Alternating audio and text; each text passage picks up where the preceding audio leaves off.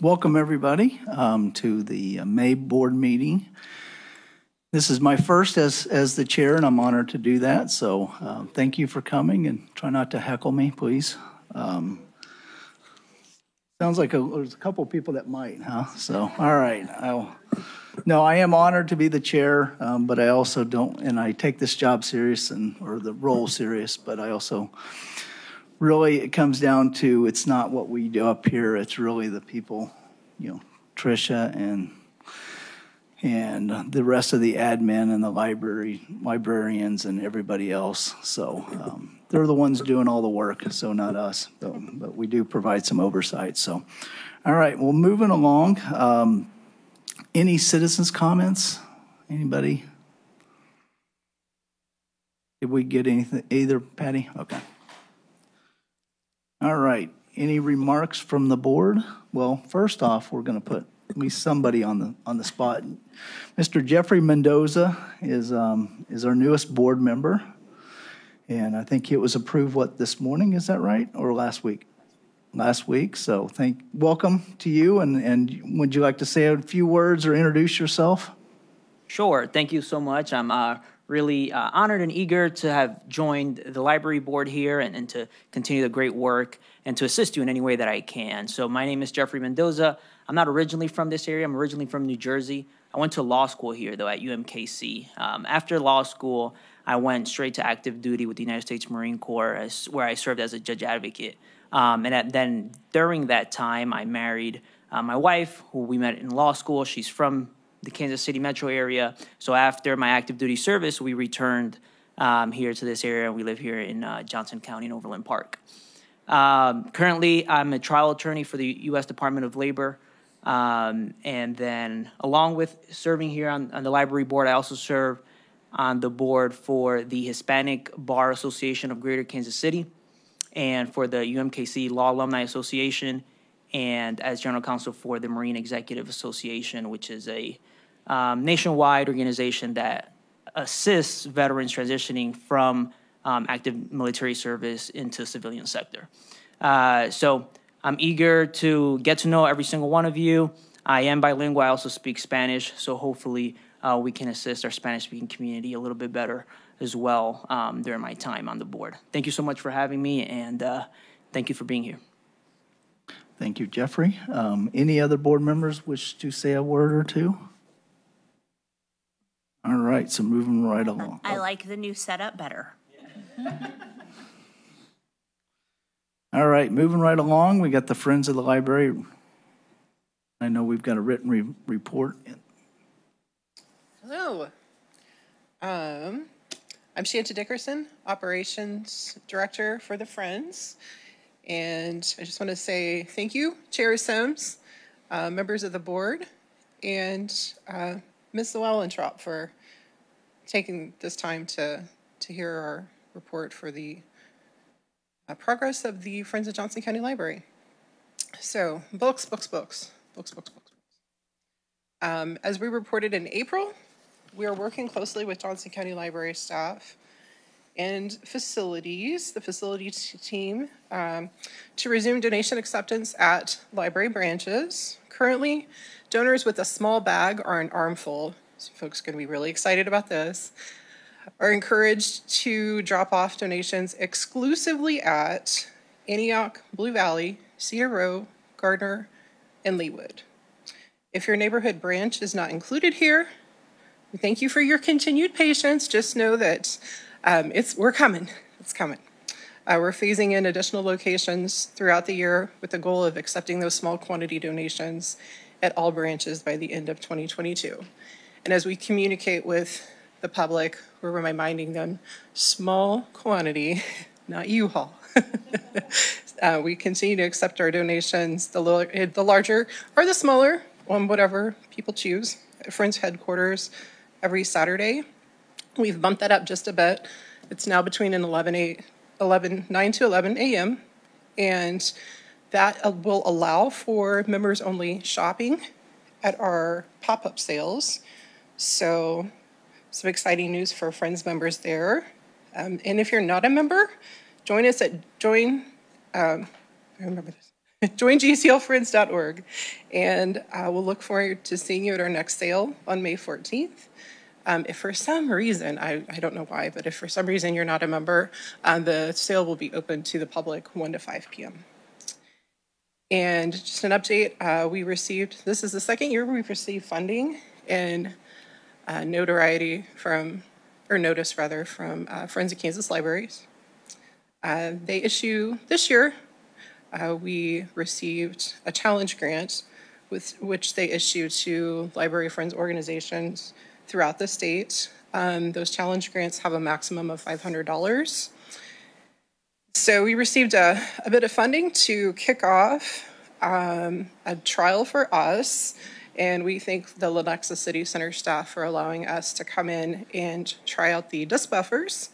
Um, we have some wonderful uh, audiovisual processing volunteers who have been open to trying this out. And uh, what we're really wanting to do and currently doing are buffing discs. Uh, we receive a lot, a lot of materials that are just, you know, they've been removed from the uh, collection for a reason. and uh, we'd like to send less to the landfill, so we're taking time to, you know, if there's a certain resale value, then we'll take time to, to buff those out and um, sell them online. Uh, long term, we're just monitoring this closely, and our goal is to, of course, increase revenue. But uh, long term, even if we break even, um, we it's from the standpoint that we're you know sending thousands of fewer uh, discs to the landfills. So um, ideally, we'll be able to get some grant funding for for that, just for reducing waste. So that's all I have. Does anybody have any questions? Great, thank you. Thank you. Next is Stephanie. Good afternoon, everyone. I'm Stephanie Stolsteimer, and I'm delighted to report on behalf of the foundation. And I want to just say thank you, Shanta. Shanta does an amazing job with the Friends. The fact that the um, book donations are starting to percolate back up through the branches is so exciting because people leave the books there anyway. So, so it's kind of a kind of cool to have the bins there and the whole uh, transportation. Um, and so we're just thrilled what the what the friends are are doing. Um, for my report, I uh, do want to talk about our in-person events. Um, it did happen. I, I, talk about these things like they're going to happen, and then they happen, and then I tell you about them again. Uh, on April 27th, we had an appreciation event um, for the 1952 Society members. Uh, it's called Writing the Library's Next Chapter, the 1952 Society. It's in recognition of planned giving. We also invite the Reader's Circle. This is in recognition of individuals and couples for their cumulative giving of $10,000 and up, all the way up past $100,000. So it's just, uh, it turns out that friends and volunteers and donors all fit into these categories. So it's it was really fun to have this um, event on the 27th. Um, we had about 80 guests who came and um, they enjoyed our feature guest speaker, Arthur Muir, who is the oldest American to reach the summit of Mount Everest uh, a year ago in May at age 75. Um, and we just want to spend as much time as we can appreciating uh, our library lovers. And um, in also in terms of appreciating our library lovers, we did an, an event uh, for volunteers. Um, more than 60 volunteers gathered here at Central um, on April 20th. Uh, Amber Borg Slater is our volunteer coordinator, and they came up with this cool club, the 2080 Club.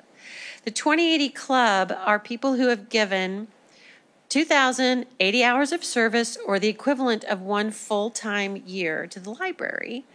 Um, they, they had 12 volunteers who have done this. And combined, they have contributed 33,980 hours of service. They've volunteered from seven years all the way to 20 years. And um, uh, it's just remarkable what people want to do for the library from the community.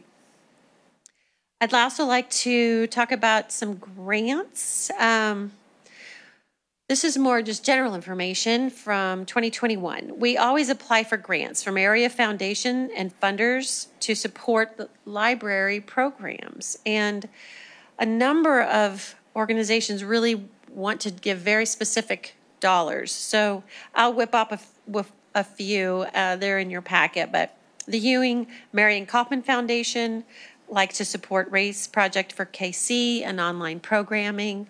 I know Joseph is here for online programming. He's they really like him. Um, Black and the Black and Veatch Foundation uh, loves to support the Makerspace. The Regnier Family Foundation has an affinity for the Six by Six program. The R.A. Long Foundation really likes Brainfuse tutoring, after hours support for students. The Joanne and Bert Berkley um, Blue Heron Foundation appreciates writers.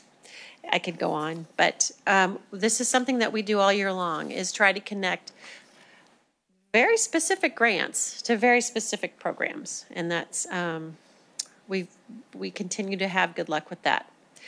Um, another thing for the foundation is finance. It's that time of year to do audits and tax returns. Woohoo! And so uh, we did finalize the audit. We got a clean management letter, which is just we're very exciting. And um, the 990 tax return is being um, finalized. And um, oh, yeah, next month we're going to bring a really big check because our finance committee does this calculation about uh, the endowed dollars at the Greater Kansas City Community Foundation. And um, we cut a check for the collection. So next month we will have a literally a big, literally, we print off this big check and you're going to have to pose for a picture. And it'll be a six figure number, which is pretty exciting.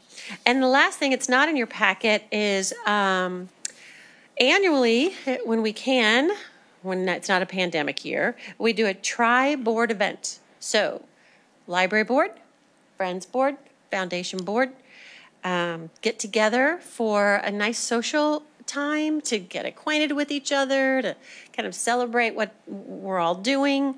Um, network with each other a bit so you know who's who and who's all working from the community. Everybody's a community volunteer. And um, so we get together and have a nice time. This time we have a little bit of a theme, and it is a bit of, uh, it's uh, for Sean. We'll say goodbye, Sean, and um, send him off with our good wishes. And uh, it'll be here, and it will be June 16th, 5.30 to 6.30 and it'll be here at the library, and you'll receive an invitation soon. So that concludes my report. Are there any questions? Thank you very much. No, thank you. Thank you.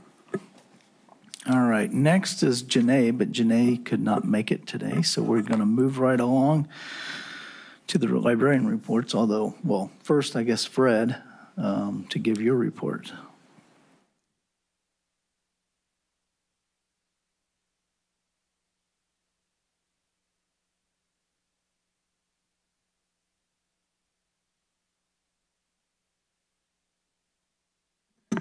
Thank you. Um, I was asked to uh, speak this evening on the legal path to property sales. And that's uh, timely because um, the library may, may be considering uh, sales of two properties um, in the future, uh, Antioch and Lackman, depending on, you know, what happens. But so we're not used to that. Um, we've acquired properties. I think in my time around, I think we've been involved in 12 transactions where we have acquired property. Um, it's unusual for us to dispose of property, but that that's coming up. And so I think they thought it would be good for me to explain that process. Um, it is a it's a two-step approval process. Just as when we acquire when the library board acquires property, it enters into a contract that must be approved first by the library board and then ratified by the Board of County Commissioners. The same holds true under that same statute if it wants to dispose of library property. I should stop here and say that uh, I believe there are 13 properties titled in the name of the Board of Directors of the Johnson County Library. Uh, We lease space on the Edgerton Library. So, but it- that's how they're titled, Board of Directors of the Johnson County Library. And uh, the contract, the library board would enter into a contract of sale, and it would have to be approved by this board and then sent out for ratification to the Board of County Commissioners. So it's a, it's a two-step process, just the same as when we acquire the, when we acquired the properties. Um, We acquire, the library board approves it, it's in their name, it goes out to the Board of County Commissioners for ratification. And uh, the same process would hold true here. There would be a contract approved by this board, and then it would go out to the Board of County Commissioners for ratification. So it's really, it's just that simple.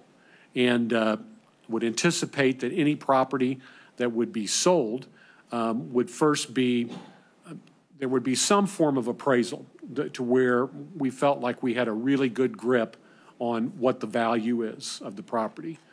And, uh, and then, and then some form of, I mean, I, I, it's certainly possible that there could be a contract with a party um, without formally listing it, but I, I think that's probably unlikely. I think it's much more likely that it would be listed in some format to take various offers. It would need to be a really fantastic opportunity, seems to me, before the board, I mean, where it was just crystal clear. Um, So I, I would anticipate that kind of process on this. So when the library's ready to list those properties, and, and obviously they, you know, for example, Antioch is still very much in use. Um, But when, when they're ready to, to sell that, then that's, that explains the process that would be followed. Any questions? Um May I ask a question. Um, So in terms of the, the decision to either sell or repurpose the property, is that one made by this board or by the Board of County Commissioners? Because I know this is something that came up at the last joint uh, meeting. Right. Um, Well, it's, I'm going to give you the, the legal answer, and then I'm going to explain, you know, kind of in the real world how it works. Um, The legal answer is that only this board can legally initiate the sale of property. But the Board of County Commissioners, I mean, there's a, there's very much of a legal relationship here between the two. So if the commissioners have a very strong feeling that a property should be sold, then obviously that's something that the library board is going to take under consideration. But the commission by itself could not force a sale. Nor could the library board, for that matter, if the commission didn't want to sell a property. It's kind of a two-step process, but this board um, is, is critically important. I mean, it, it makes that decision.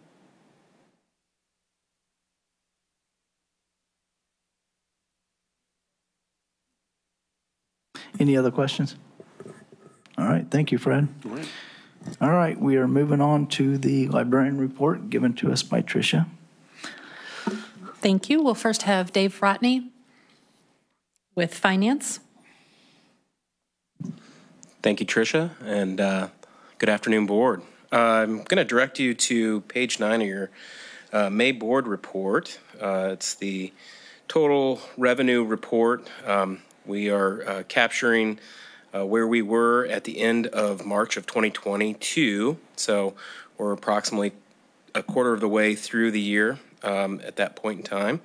Um, And uh, revenues collected uh, was a little over uh, 23.7 million, uh, or about 54% of the 43 point almost 9 million that we anticipate collecting for 2022. Uh, this is on target for where we would uh, expect to be around this time of year. Um, if you looked at the 2021 reports, we were at about 53%, so we're just slightly ahead of uh, where we were um, in the prior year.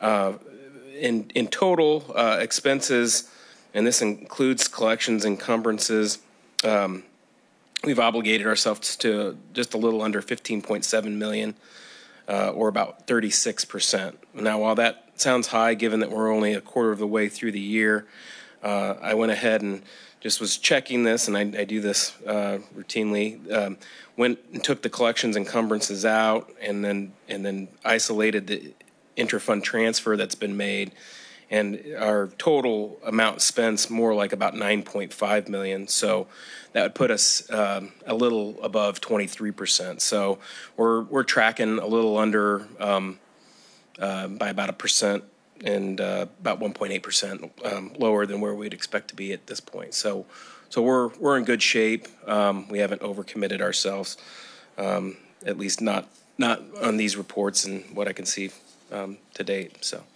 with that, I'll stand for any questions you might have. Thank you. Right.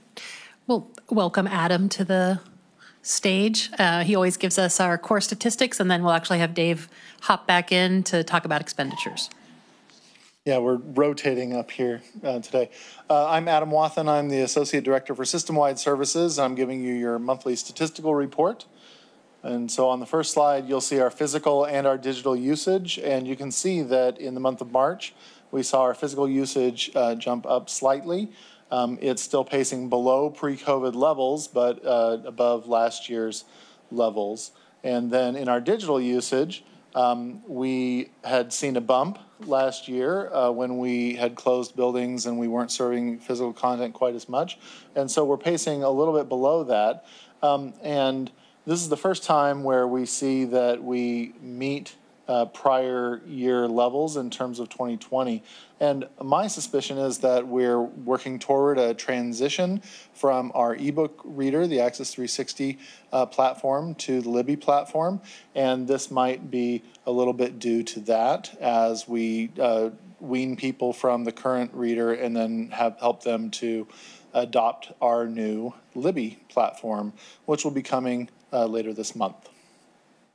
And on the next slide, you'll see our visitation trend, and it trends similarly that it's uh, still below pre-COVID levels, but it's about 25% above um, the levels that we saw last year, and we hope to see that uh, continue to grow as we step into our summer programming, which Joseph Keene will talk about in a little bit, and um, as we see the return of some of our physical programming in this cycle and the next. Uh, any questions about those statistics? Okay, then I'll turn it back over to Dave for, Actually, I Oh, sure. did have a question. Yeah, ask, I was ask, please. thinking about this. go for it. Um, is there any way for us to, when we are looking at usage trends, to see if um, households have multiple cards? That when my kids were little, they had their own cards, but if I was just putting something on a hold now and not coming in, then what's the fun of checking out your own books if your mom's doing it? And so I was curious if we had looked at that, if maybe the, that, our door count being off is a little bit maybe skewed if we've got a lot of people who have families that have multiple cards, but if they're not coming in for a lot of programming, you don't have four kids each checking out a book or two in their cards. And I was just curious if we had looked at that, if that was even possible. Yeah, I think our programming does drive circulation to some extent because it drives attendance into our buildings. Um, uh, of course, some of our programming is off-site, and that doesn't drive that circulation quite as much. Although we try to associate materials and and literacy with the programming, so hopefully there is a connect connective tissue there. Um, the uh, I would say that the families with multiple cards uh, before and in, currently are um, sort of similar in terms of how families might use those cards. Um, the the number of items checked out probably still wouldn't change as much. It's the browsability, I think, that changes. So the, the number of holds have gone up and people checking out on holds and using uh, our drive-throughs and things like our uh, curbside service and then picking up off the hold shelf. And I think that that's a result of pandemic uh, trend and the browsing of our branches has, has suffered a little bit. And we hope to see that come back because if somebody happens into the library or comes to the library for another purpose, they might browse the shelves and check out books. And that's certainly the case with children and our children's book usage that after a story time in a, in a building, you'll see a lot of checkout of materials by those children and those families. And so we really do hope to see that return. Um, uh, I think there is a way that we can look at multiple cards in families. And uh, we've seen both that some families use one card for the entire family, and some families have multiple cards. And um, both ways uh, have been effective ways that, that people use the library. And so it really depends on the family. Did that? I'm just, I did that guess I'm more just curious if instead of having one family that had several cards, they're only using one, and if that then is Right. skewing some of our numbers a little bit, that they're checking out the same number of items, but it's registering as one interaction We're- instead of three or four. Uh, that's, we're actually counting gate count. Okay. And so it's how many people are coming in the building because we're, we're trying to count people who come into the building for any purpose, whether they check out materials or not. And so we have a lot of people that come in just to use computers or to use study spaces or to, uh, for after school, we'll have a lot of teens come in and use our spaces, uh, for a variety of purposes. And they may not check out materials at all. And so we aren't, we aren't actually counting how many cards get used. Okay. We're counting how many people come through the doors. Okay. Did that make sense? Yep. Okay. Any other questions? Okay, thank you.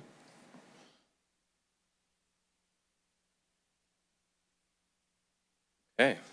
I'm going, Dave Rotney, I'm uh, going to go ahead and go over just some expenditure trends that we've, uh, that we're tracking and, and want to share with you. And I, I believe we do this every year. Um, I think I was here last May to also go over some similar expenditure trends. So um, on this first slide here, we're talking about our uh, collection. Um, you can see the physical collection in 2018 uh, spikes up there. There's about 3.5 million uh, that we spent. Uh, we purposefully did that as we added Monticello on um, as a new library location. Um, 2019 number, then it drops down there to about 2.8 million. In 2021, we spent a little over uh, 3.15 million in on on the physical collection. Um, then we have some expenditure on collections by formats, and you can see uh, the various things that we, we track, uh, databases, periodicals, uh, the ebooks, e-audio, the uh, print, and, and our audio-visual as, as part of our collection. Um, the one, one thing that I'm going to point out, obviously, you can see periodicals is, is something that it, it, it's beginning to, to drop and, and precipitously drop. Uh, the one thing that's really we've spiked up in the last couple years is our e uh, books and e audio books offerings because you can see in 2019 we were at around 570,000 and in 2020 2021 we've increased that to about 1.2 million. So uh, a lot of that has to do with um, COVID and, and our pivoting there but also just there's more offerings that are being um, uh, given on those platforms. So um, next slide please uh, expenditure on programming outreach, you can see that's an area that we've um, been significantly growing over the last six years. Uh, that spike in 2020 that we're showing there uh, actually has to do with um, the 2021 uh, summer reading program where we had increased um, that program and we've um, formalized that in our 2022 uh, budget, but we made purchases for the 2021 reading out of uh, in December of 2020, so we'd taken those in advance. Our 2020 number there was around 385,000, uh, and the 2021 number down to 286. I think what you'll see in 2022 when we bring it forward is probably going to be closer to what 2020 was, and maybe a little bit larger than that. And then uh, IT expenditures on our contracts, hardware, software lines. Um, you can see that there's we've seen uh, a pretty steady increase there. Uh, 2019, we had about 1.38 million. The last couple years have been down a little bit. Uh, 2020 was uh, at about 1.27 um, million, and 2021 was just about that same number. Uh, 2020, we had gotten some COVID reimbursement funds for some equipment that was purchased, and then in 2021, um, there was a number of initiatives, priorities that we had just had, were busy trying to handle some of the other uh, crises that were happening, and we had some staffing um, shortage issues, uh, and had us kind of, I think, not being able to fully do some of the programs uh, that and projects that IT had planned. So I expect those numbers for 2022 to be up and probably higher than where we were in 2019.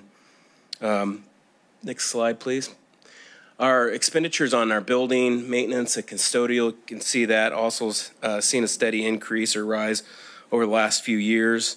Um, I would let you know that in 2019, uh, it was mid 2019, uh, we transitioned our um, custodial maintenance uh, management over to county facilities. And so there's been a, a, heightened focus on, on our custodial and maintenance efforts from there. So you can see 2019, we'd spent a little over 700,000. Uh, in 2020, it was uh, around 784,000, and then in 2021, 830,000. And then uh, I would also note we did get reimbursed in 2020 some of our COVID expenses, uh, facilities related expenses that were there. So that doesn't necessarily capture um, everything that was spent because we were able to um, uh, have grant uh, grants that we received cover some of those expenses. And then I want more slide here that has. Um, so, oh, no, excuse me. The library debt service slide, excuse me. Uh, this shows JCL debt um, over time, the facilities projects have shifted towards uh, PBC debt. So you can see uh, the the grayish line is uh, library debt in total. Uh, the blue lines PBC issued debt versus other debt service that we had uh, previously committed to. Um, we've we've shifted over to issuing PBC debt, which is public building commission debt. Uh, so any you, you, could see the, the steady rise in there. I believe the first PBC debt issued project was our Leawood um, expansion project. So that's what would have been um, on there in 2013.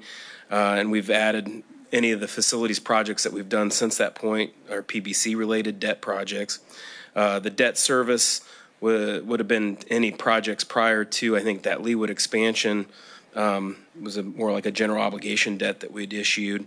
And we, have, I'm happy to, I guess, um, tell you that we've zeroed out that debt. Um, and so the only debt that we currently have on our books is the Public Building Commission debt. Um, in 2019, our total debt uh, paid was a little over 3.56 million. In 2021, that number was down to 3.1 million. Um, this is, I think, really kind of due to timing. Um, in 2023, we'll be issuing uh, later this year, 2022, excuse me, we'll be issuing debt for our Antioch replacement project, um, which will then have us beginning debt service payments on that in 2023. And so that amount's going to end up being probably back up to closer to where we were in 2019. And then obviously, uh, future debt we're planning to issue would, would also increase that number. So, and I think I have one more slide. There we go. Uh, this uh, is expenditure trends as it relates to our, um, our full-time equivalents and uh, total compensation paid. And you can see we've broken it out into, into the three categories, salary, health care, and other benefits. Um, our staffing was uh, at the beginning of this uh, chart here in 20, 2012 was uh, probably around 268 FTE. Um, and um, more more recently, we we peaked out in 2019 with the 327.79 FTE, and again that goes back to in 2019. Um, we had FTEs that were associated with our facilities custodial maintenance um, would have been on the library side of the ledger. And so with those transfers, we transferred 21 FTE in 2020 as part of our um, agreement with the facilities department. Uh, so, so that lowered our FTE count from the 327, almost eight that you see there, to to the 304.79 that's in there for 2020 and 2021. Um, the total compensation in 2019 for the library was around uh, 20 million 756 thousand, um, and that number in 2020 went down to 19,172. Uh, 19, excuse me, 19,000, 19,172,000. Uh, again, 2020's numbers are gonna be a little misleading. Uh, you all, or any of you that were around, will remember we furloughed about sixty percent of our staff uh, for a period of time in in 2020 as part of our COVID response. And so there were folks that we had furloughed somewhere between four to six weeks, depending on the position. So there's some some savings that we um, encumbered there. Um, and then in 2021, uh, those numbers go up to a little over 20 million, 661,000. Um, and then we did did do some payroll equity uh, impact adjustments in for 2021. So the, those numbers are, are reflecting some of that. So with that, I know I went through a lot of information and uh, those slides rather quickly. Is there any questions you have on any specific slide or any expenditure questions that you might have of me? All right. Well, Do thank you. I'm sorry, I have. Oh, yeah, yeah. For this salary and benefits expenditure, do Yes. you have a, a, a greater breakdown of that? Um, by position, perhaps? Uh, so we do provide that. We have um, uh, state reports that we put together that has uh, them grouped by by position and and and range, and that's something we could certainly provide to you or any of the rest of the board if that's something you'd like to see. Yes, please, thank you. Sure. Thanks. Thank you, Dave. Scott is on the next uh, presentation on the Comprehensive Library Master Plan. Good afternoon, everybody. Scott Syme, Project Coordinator for the library. And on behalf of the library, on behalf of the core team for this project, I'll give you an update on the Antioch replacement. Uh, next slide. So I'll talk a little bit about um, the meeting we had with the city council uh, earlier in April. Also give you some next steps for this project, review the timeline, and then I'll provide a design update. Uh, we'll have Dake Wells at our June meeting. Okay, so first up, an update on the city. So the city asked, the city of Merriam asked us to come and do a design preview um, in late April. Several of you folks were there. Thank you. Um, Trisha and Fred and David, um, some other folks in the audience were there too. Um, we had a we did a design preview for them. They had some great questions. Sean and Dan from Dake Wells spoke to those questions, I think, pretty well. And overall, I'd say the city council was very receptive to and pleased with the building's design. So that was great to hear. Um, so that's an update with the city. Next up, um, I'll talk about next steps. So the architects and the core team are working on the final development plan, which is what we need to be able to submit to the city um, to go ahead and get their approval on that. Uh, it'll start with the Merriam Planning Commission and then go to the city council. We're expecting that in June, July. We are working with City of Merriam and our legal counsel on some topics to be included in a um, second property conveyance addendum. Many of these are slight tweaks based on the evolution of the building and the site. Um, a few examples, we'd like to share a flagpole with them. We want to talk with, with the city about um, electric vehicle charging, Wi-Fi coverage, those kinds of things. Um, and we are looking forward to a property transfer and selling bonds later this year. Next slide. Here's a look at our timeline. We're at the red arrow. No changes since the last time you saw this. Now I've got some renderings from the architect to share with you guys. Um, the first few are about landscaping, and then the, the last couple are um, site uh, updated site renderings.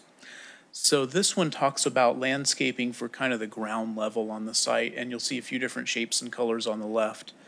Um, the circles are trees, the dark green are um, taller grasses, and the lighter green is just kind of regular turf.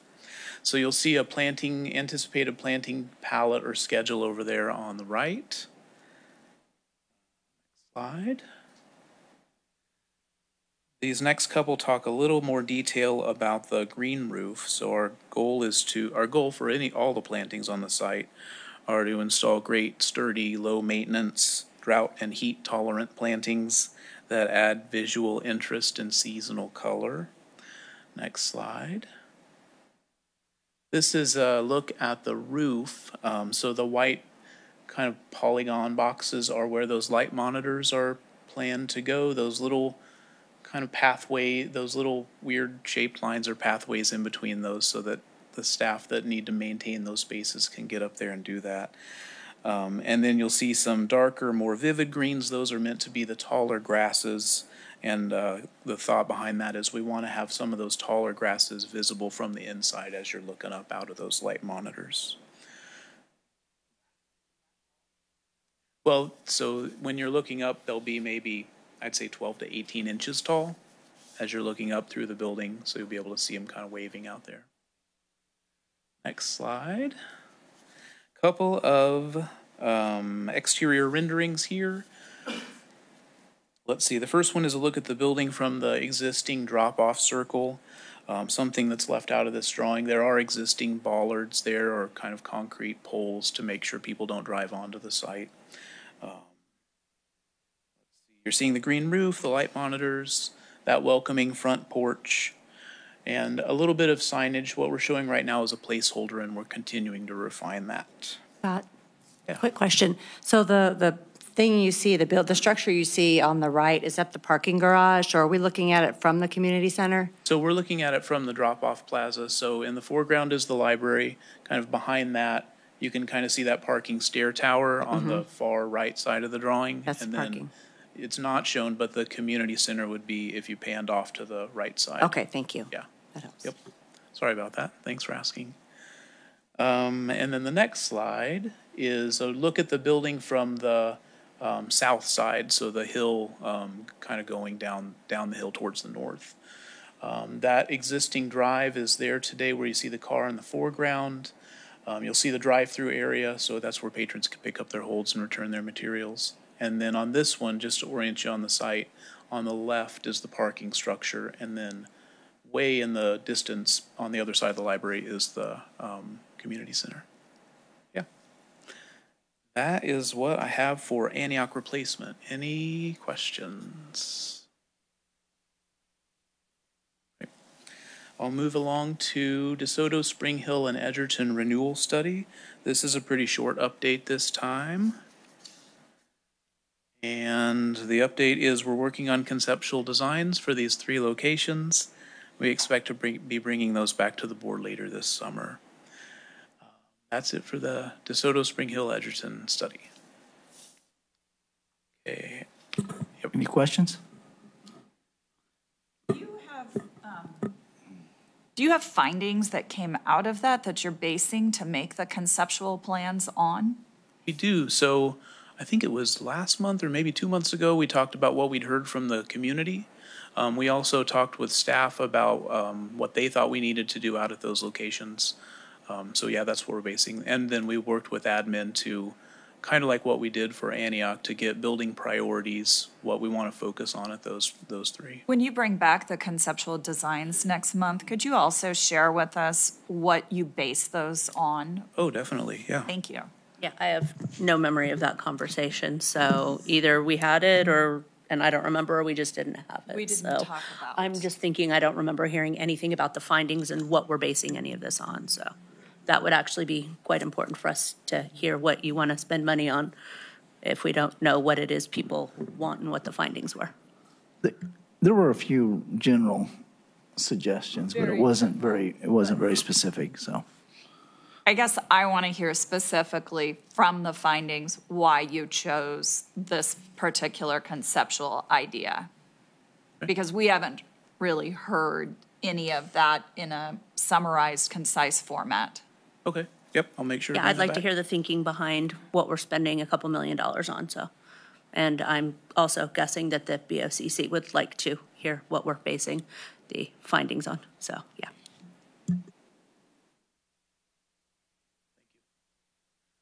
Okay, last bit here is just to look at our overall timeline summary. So this is our um, capital improvement project timeline. No changes on this one since the last time you saw it. Next slide. This is our uh, capital replacement plan timeline summary, and we do have a change on this one since the last time you saw it, and that is talking about the Gardner and Oak Park projects.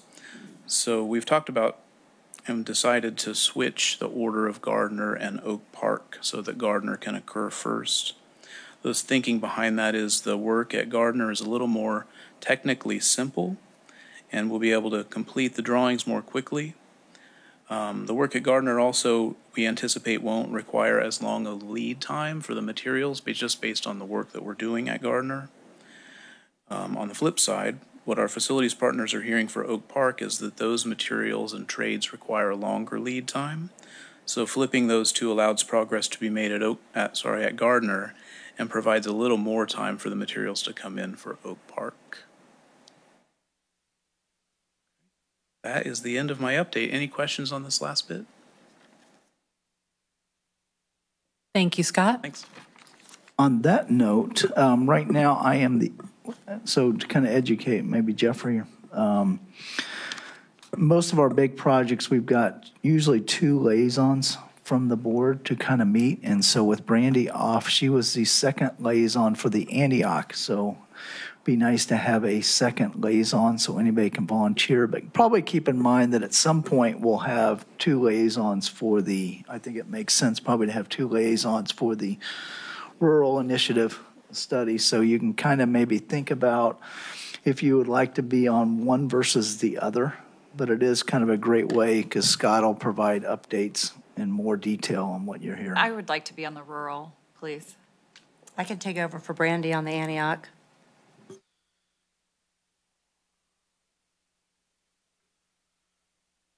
All right, so Scott, you want to make sure she gets invited and then as, as the rule, and then we'll find a second person at some point, so. Thank you. Great. All I'd like to welcome Joseph Keene. He'll be giving us a summer reading preview. Thank you, Trisha. I'm a little taller. We'll just see if this works. It's good. Um, thank you. I'm Joseph Keene. I'm the event and program coordinator for the library system. And it gives me great pleasure to be able to introduce you to a preview of what we have in store for the summer. Uh, so, uh, quickly, as you might remember, in 2020, there was that thing that happened, and we ended up having to pivot to go online for most of our activities. And then um, we reintroduced. Uh, uh, reintroduce much of our uh, programming, especially our distribution of summer reading materials back last year. We're continuing on this year. So this is kind of a, this slide right here is an evolution of what we've done and how we've done that.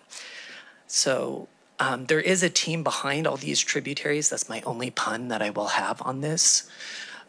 Uh, of programs, outreach opportunities, and information that is disseminated um, surrounding our uh, summer reading program. This year's leadership team consisted of Kristen Devonshire, Melanie Fimler, Helen Hokinson, Sarah Matthews, Brian Ortell, Michelle Rainey, Jennifer Reeves, and Jennifer Taylor. Um, it's a privilege for me to be able to share with you the work that they've planned. Um, so I get to get some kudos from you to give back to them, hopefully. Uh, we will kick off our programming virtually in June with a launch party on Saturday, June uh, 4th. We will feature a story time with our very own Grace Bentley. Yes, story times are coming back. Followed by trivia with um, Kincaid, author visits with Ben Clanton, and a workshop with author Alan Wolf. A complete listing of all of these offerings and the ones that you see up there are available in the summer guide, as well as um, through the web calendar on the website. We are very, very excited to bring back some of our favorite presenters for our in person offerings that we will be having this year, such as Mr. Stinky Feet and Priscilla Howe, um, in our beloved Read to a Dog program, um, as well as some story times that will be uh, that will take place at Lenexa City Center, the new site um, for the uh, Merriam Library outside of there, so we're partnering there, as well as the Blue Valley Library location. We do anticipate drawing uh, some crowds at these programs. Uh, so either registration in advance or a ticketing system is going to be implemented for those programs. So just make sure you register or get a ticket early in order to make sure that you reserve a spot for yourselves. Again, all of this stuff is available on the website um, or through the guide. I'm particularly excited about this next one. Movies and special entertainment before the screening will return this year as well. Uh, so these highly popular events will occur in July. Uh, we have reconnected with our partners at Lenexa City Center Parks and Recreation, City of Gardner, and Downtown Overland Park Partnership LLC uh, to bring these programs center stage um, for this summer. Uh, so bring a blanket, grab a picnic, um, and join us. Um, we will provide some fans, uh, hand fans, because it's going to be hot. This year does mark the first for June 19th to be observed at Johnson County. Juneteenth, also known as Freedom Day and, and Emancipation Day, is an annual commemoration of June 19, 1865, when enslaved African Americans in Galveston, Texas were informed of their freedom and that the Civil War was over. Throughout the month of June, we will bring awareness of the holiday and commemorate through story times, walk and reads, book discussions, lectures, and writing prompts. What can I say? The marketing materials for summer reading this year, and if Sean was here, I've heard him say this, it's his favorite. Um, they're beautiful simply beautiful. Uh, kudos to Alyssa, Andre, and our CX team for uh, putting this together. A special thanks to Jennifer Taylor. She's a creative service coordinator for the library system, and her design work at adapting Sophia Blackwell, uh, Blackwell's art. Um, that's who the artwork is by, uh, to meet JCL needs incredible. You'll see it throughout the summer. You're going to see some different plugs on radio stations, um, um, also on PBS. Uh, you'll, so be on the lookout for that. Um, if you have any questions, I'm here to answer them. Uh, first of all, I absolutely love the Oceans of Possibilities theme and the T-shirt, the narwhals. I love that so so much. Um, when it comes to like the marketing and I really feel like I need to know who's wearing a blow up costume and is it going to be a puffer fish? Is it a starfish? Because as much as I really loved the unicorn last year, I don't feel like it's quite connected to the theme. So, what kind of sea creature can we be anticipating, or is it a secret? It's not a secret, and there is a video up on the on our YouTube channel, and I do. Maybe we can get that out to the board so that everyone can see it. Um, there are there are three staff members, and I'm not going to um, divulge who those people are because you will recognize some of them. Okay. Maybe one of them is sitting at that table up there. Oh, very nice. It's Fred. Got a question. Well, that's the important part. So, as long as we can see who's going to be in the blow up costume, then that's Well, I, I think all the, you've got a bunch of books that distributed to a lot of the schools. Did, I think what, you had almost, what, all but like five last year, is that correct? I'm going to say that was all, but I, I can't, I don't know the exact number, but I, it was a low amount. I think it was five. What about this year? Did all of them participate? Did they have to opt in? I know, what was the thought on that this year? Um, I, I, I do not have the exact numbers on that. I'll have to check with our outreach um, to see what the exact numbers are, but it's very comparable to what it was last year. They just had to opt in basically and fill Yes. out a basic, okay, yeah. I know I And I talked know to that Mike, we are working with library, uh, different schools in order to get the marketing material out to them. So that is an initiative that we have started or re-engaged more vigorously this year uh, than we had last year.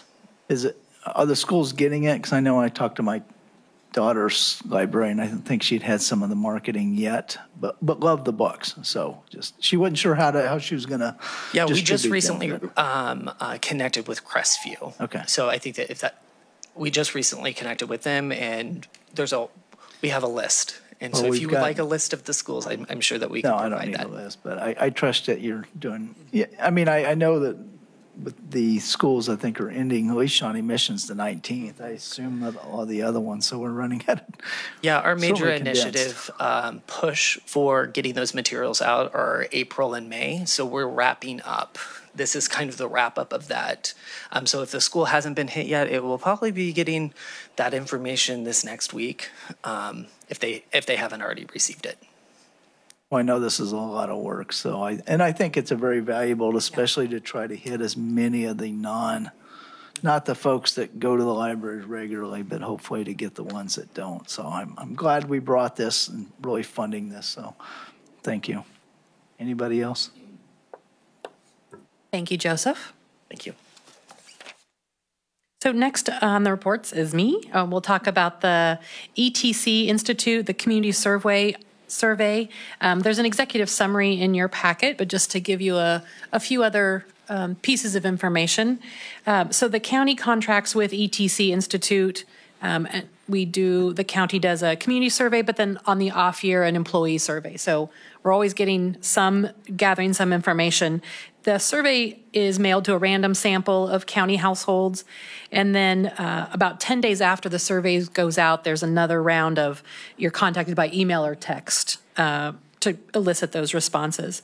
Um, this year, they got about 1,600 respondents, um, resulting in a 95% confidence level for those survey findings. So the random sample, and then these results are from about 1,600 people. Next slide, please.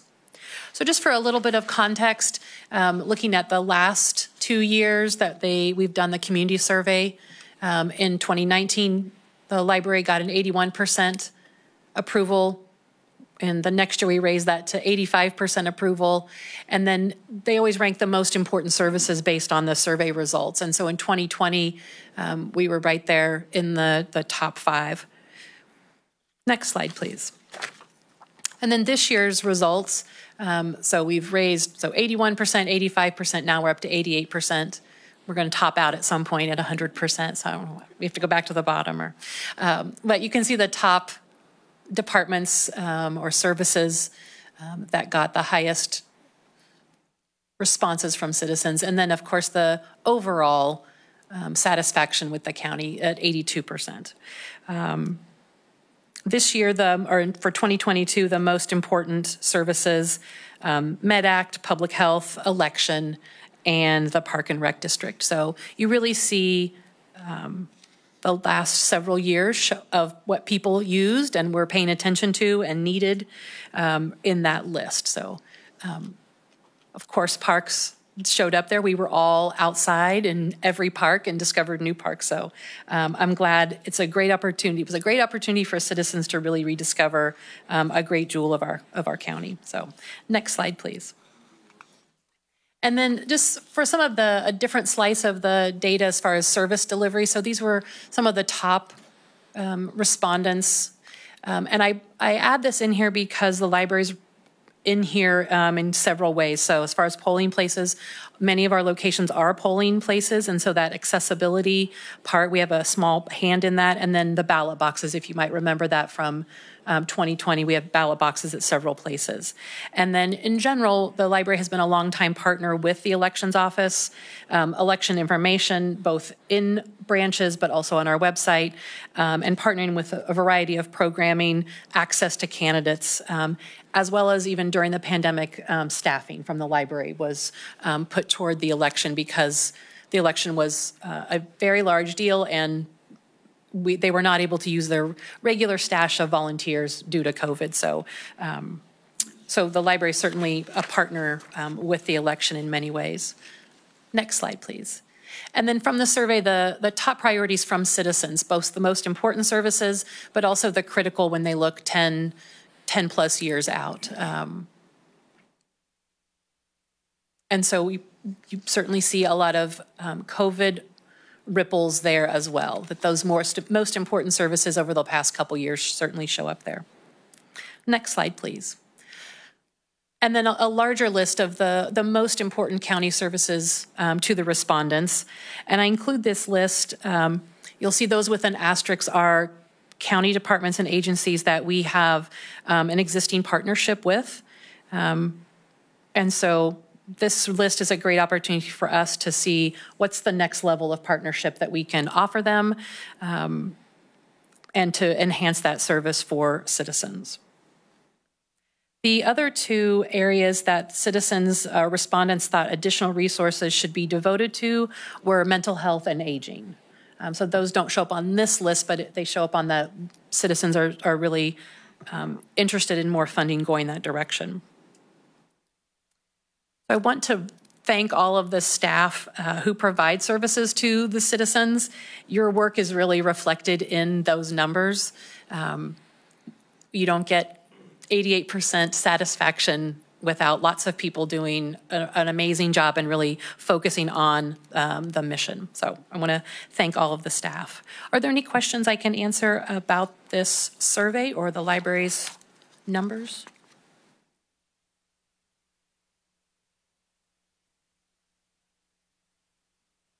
All right. Well, invite Laura Blair to the podium. She'll talk about our leadership development program. Good evening. It's good to be here with you all. Um, just to give you a little context on our leadership development cohort, um, last fall the board requested um, that admin come up with a succession plan, and they worked with Robin, Robin Smith from House Street um, to create that succession plan. Um, that was presented to you in March, and along with that, the leadership cohort was introduced. Slide, please. So this is the leadership development experience that we are using in 2022. Um, there is a leadership development course that will be three external courses um, created externally by um, by a partner. We have currently have RFPs out for that. Um, the next component is leadership luncheon with Fred and Carol Logan, as they are great supporters of the library and leadership development within the library.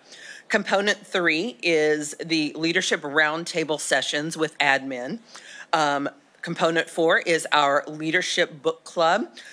Switch, how to change when change is hard, which I think is very appropriate considering all of the change that we have been through in the last few years. And then component five is monthly leadership reflections. So the good news is we are off and running. We are in progress. We have 10 participants who were identified as high potential um, by use of a nine box rating. Um, Leadership Book Club is underway. They're reading their books, and our book discussions are scheduled, and they have signed up. Um, the first roundtable with admin was held this week with Sean Casserly. Um, we have also launched a Teams group where members can share their thoughts. We can have, you know, offline discussions. Um, and there's more to come as we get some of these other things scheduled and in place. But the participants are very excited. Um, that is, that's what I just. Here's my summary slide. Are there any questions that I can answer for you today? Great. Thank you so much for your time. Thank you. Thanks, Laura. I would like to introduce our new employee class this month. So folks in the, the first couple rows, um, many years ago before COVID, new employees came to the library board meeting, and then when we went virtual, they were meeting offsite at a different location. So we're very glad to have you all back. Welcome to the library. In some cases, congratulations on your promotion. And we have one um, of our Metro colleagues observing this process. Um, she's interested in replicating some version of a new employee orientation in her library. So welcome, April from Kansas City Public. And then we'd like to, I'd also like to personally welcome Jeffrey. We met last month, but welcome. If there's anything we can, questions we can answer, I know we'll be seeing more of you in orientation over the next couple months, um, but certainly let us know.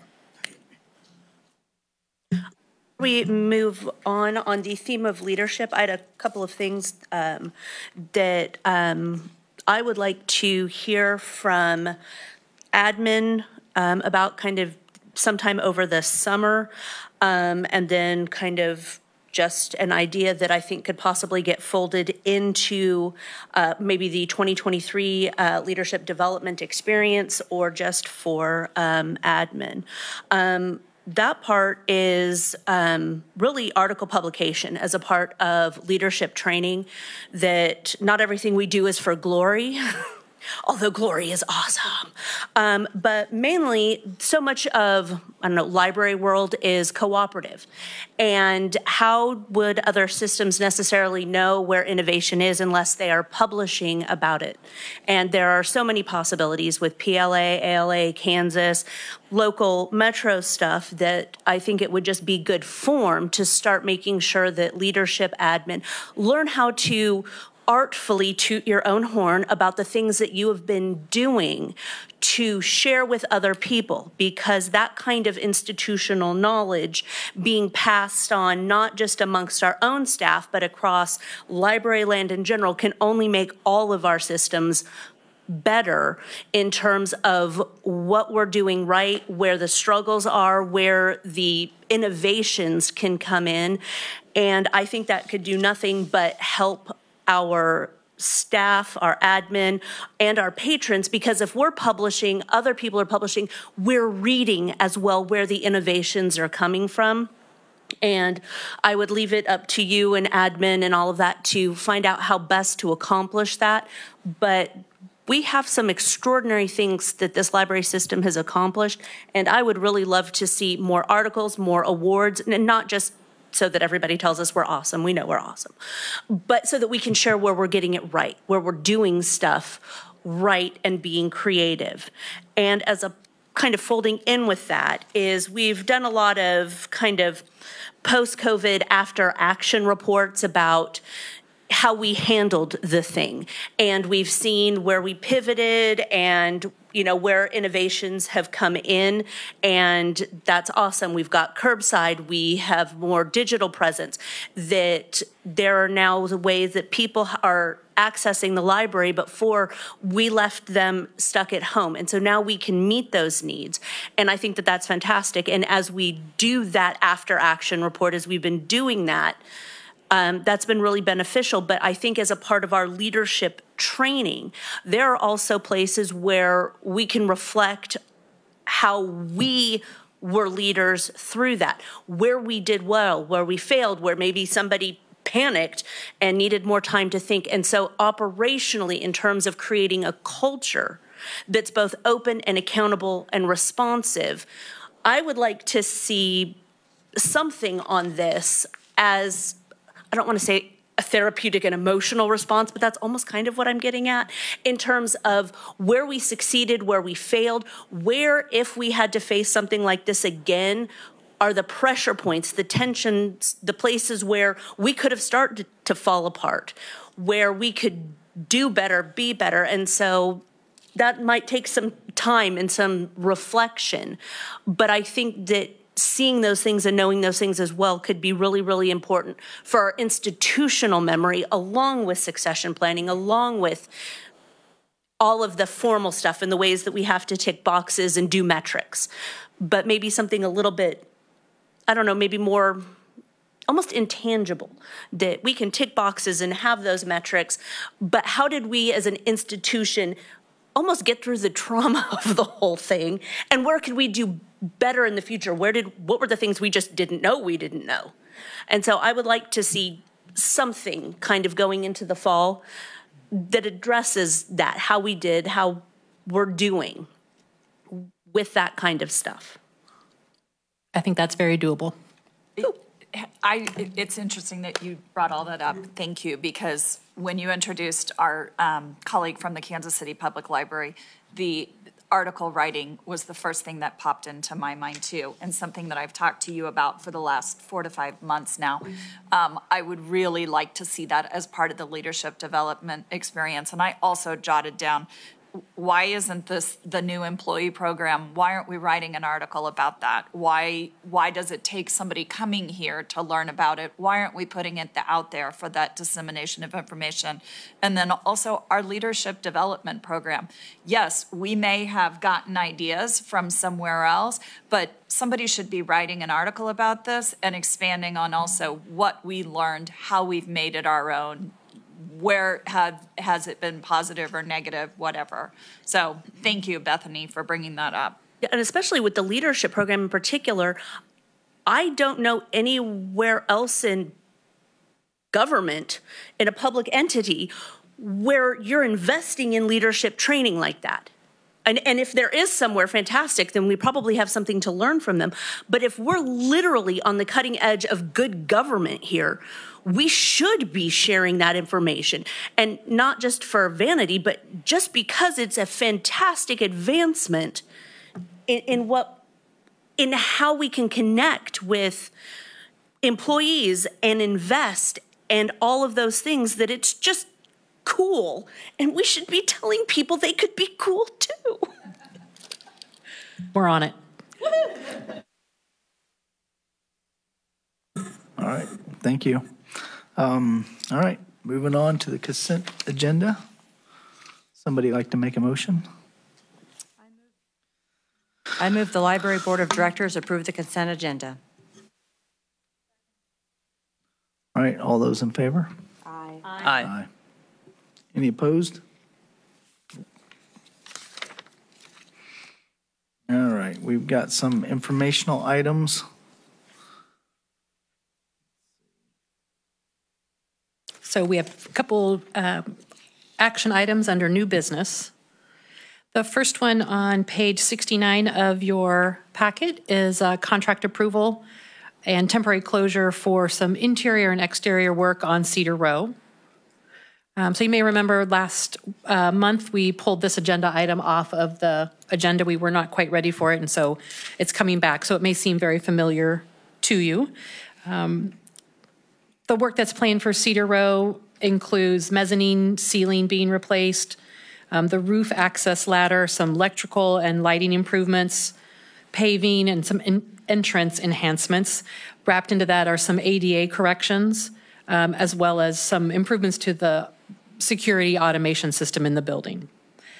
Uh, During this work will go on, and some of the work can happen while the building's open. There's probably about two weeks, up to two weeks, where we, where we will need to close the building, and that has to do with the, the paving and the entrance enhancement. Um, During that, during that time, we will not be offering any services at Cedar Roe, including curbside. So we try to have curbside when we can, even if the building's closed, but because of the entrance improvements, um, it's, it's not uh, safe for patrons, so. Are there any questions I can answer on?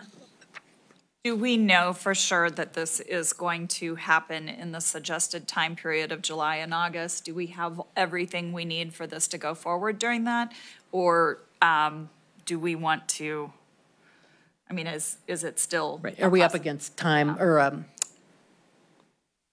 supply chain issues? Sure. I'm a little bit looking at Scott.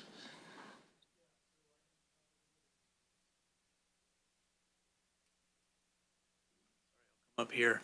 Um, so we know the, that the, the work is gonna take about two months, and we feel pretty good about that week or two that we need to be closed.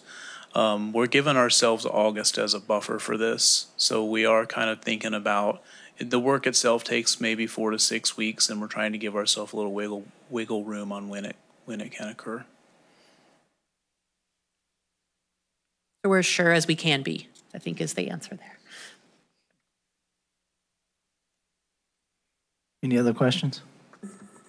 All right, does anybody want to make a motion, or is there more discussion?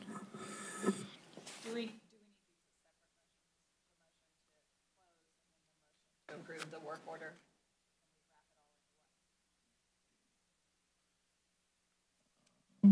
It's all one.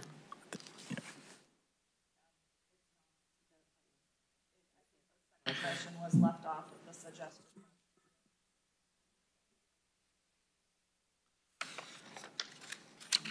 We didn't, we didn't authorize the um, closures at a prior meeting, did we? Okay, I've lost track. But we can loop them in together. Then I move to approve the work order with Universal Construction Company for interior and exterior work at Cedar Roe Library in an amount not to exceed 209,516, and also move to approve a temporary closure of Cedar Roe Library for a period of up to two weeks during July, August to complete the planned CRP work. Second. All those in favor? Aye. Aye. Any opposed? All right, motion passed. Then the second item is a consideration to approve the BiblioCommons contract. This is a contract that you've seen before. It's an annual, or we renew it annually. Um, This is our online uh, presence for patrons. It's what you see when you're using the app or you're on the web page. So it's a company we've worked with for over 10 years. Um, This contract comes to you because it's over $100,000. Any questions? Now, is this the one, there was one, I think, a year or two ago, how we weren't too happy with them, but am I thinking of something else? That's a But- different- But we were kind of stuck. Okay, Yes, different that's a one. different Okay. company. So we're happy with these? We, we enjoy these people. Okay.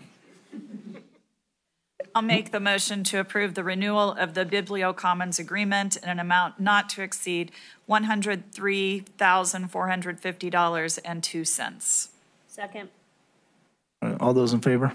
Aye. Aye. Any opposed? Motion passed.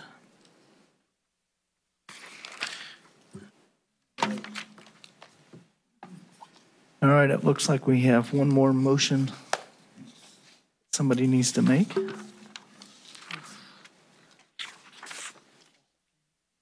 move pursuant to KSA seventy-five four three one nine. Executive session for a period of thirty minutes to discuss personnel matters of non-elected personnel. Those attending the executive session shall include the members of the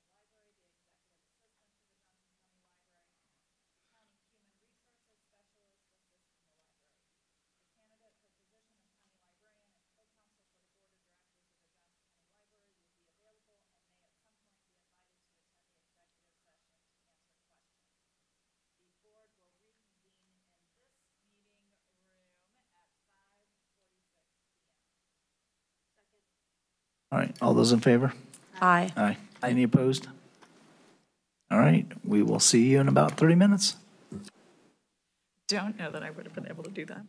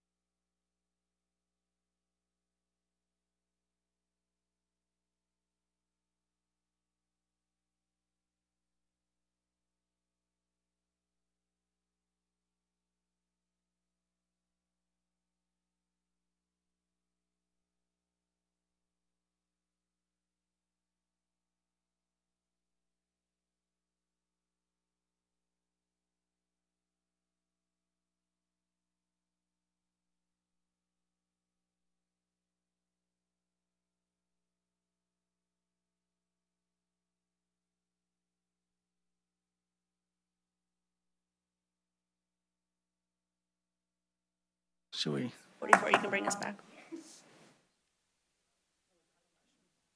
All right, we are back for executive session. I think we got one minute or two minutes to spare, so would somebody like to make a motion?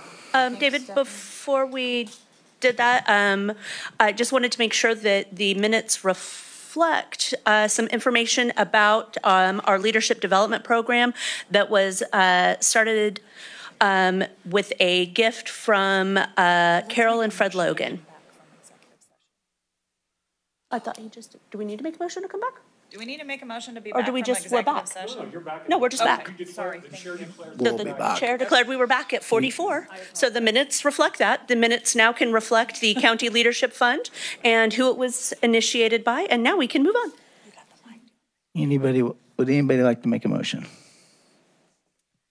I move pursuant to KSA 12-1225BA5 that the Board of Directors of the Johnson County Library extend an offer of employment to Tricia Suellentrop to serve as county librarian for the Johnson County Library commencing on the first day of July 2022 on terms to be agreed by the parties.